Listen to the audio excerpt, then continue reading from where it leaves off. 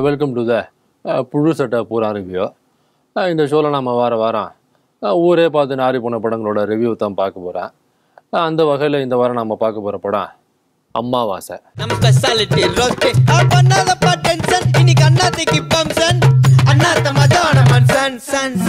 அஹ், அமைதிப்படை படத்தில் ஒரு முக்கியமான சீன் வரும். மணிவண்ணன் இலைச்சல் நிற்க முடியாமல் போயிடுவான்.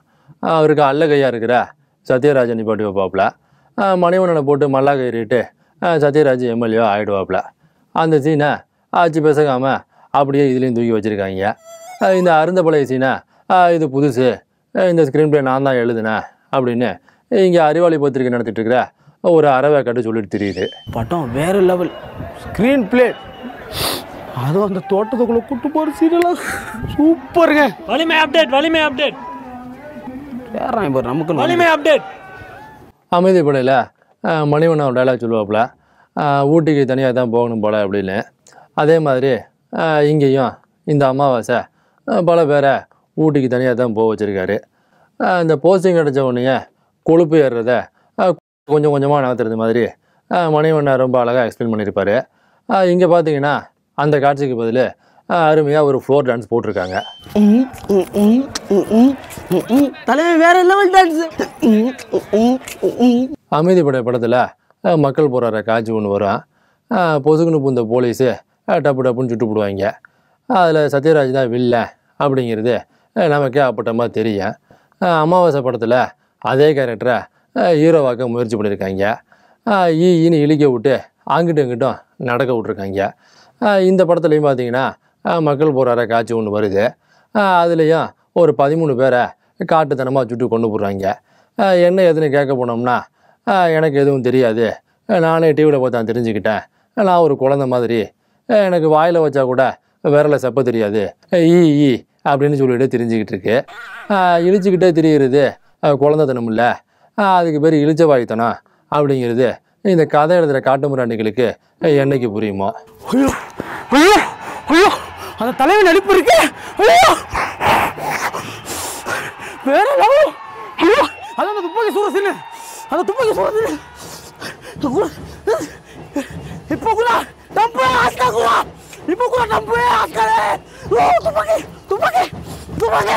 ஆஹ் அமைதிப்படை படம் மாதிரி இல்லாமல் அமாவாசை படத்தில் நல்லா படித்த அறிவாளி கேரக்டராகவே டிசைன் பண்ணியிருக்காங்க எந்த அளவுக்கு அறிவாளின்னு கேட்குறீங்களா நாம் எல்லாருமே படிக்காத ஏன்? இந்த உலகத்தில் உள்ள ஒருத்தருமே படிக்காத. சேக்கிலார் எழுதின கம்பராமாயணம்லாம் படித்த அறிவாளியா? டிசைன் பண்ணியிருக்காங்க அது வரைக்கும் அப்படி டிசைன் பண்ண அந்த டீமுக்கு நாம் ஒரு பாராட்டுகளை கண்டிப்பாக தெரிவிச்சிட வேண்டியதுதான். அமைதிப்படையில் அந்த தேங்காவை பொறுக்கிற சத்யராஜுக்கு அந்த அரண்மனை மேலே ஒரு ஆசை வரும் இல்லைங்களா? அதே மாதிரி இந்த அமாவாசைக்கும் ஒரு அரண்மனை மேலே ஆசை வந்திருக்கு.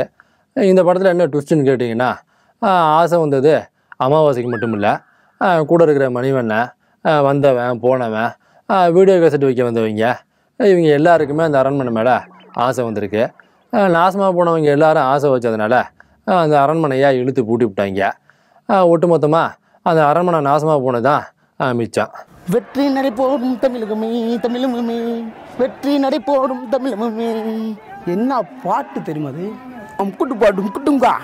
வெற்றி நடை போடும் தமிழகமே என்னடா அவன்?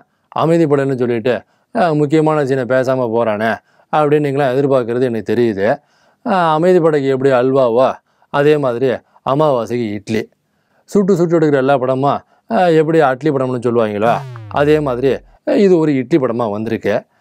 என்ன ரெண்டு இட்லிக்கு ஒரு கோடி ரூபா பட்ஜெட்டுங்கிறது தான் கொஞ்சம் அதிகமாக இருக்குது சங்கர் கூட இப்படி யோசிக்க மாட்டாருன்னு நினைக்கிறேன். இட்லி இட்லி தான். அத்தட்டினி தட்டினி தான். சங்கரால் முடியுமா? ரெண்டு கோடி ரூபா பட்ஜெட்டு. பொதுவாக நம்ம ரிவ்யூவில் படத்தை பற்றி மட்டும் தான் பேசுவோம். ஆனால் இந்த படத்தை பொறுத்த வரைக்கும் ப்ரமோஷனையும் சேர்த்து பேச வேண்டிய கட்டாயத்தை நம்ம தள்ளப்பட்டிருக்கோம் எல்லா இடத்துலையும் ப்ரமோஷனை போடுங்கடான்னு சொன்னதுக்கு இவங்க போடுற இடத்துலாம் போய் ப்ரமோஷன் பண்ணியிருக்காங்க காலேஜ் மாணவர்களுக்கெல்லாம் ரெண்டு ஜிபி டேட்டா வேறு கூடுதலாக கொடுத்துருக்காங்க. அவங்க வேற ஃபோனும் கையுமாவே தெரிஞ்சிட்டு இருக்காங்க ப்ரொமோஷன் வீடியோவை பத்து தடவை பார்த்தேன். படத்தை இப்போ நெட்டில் விடுவீங்க?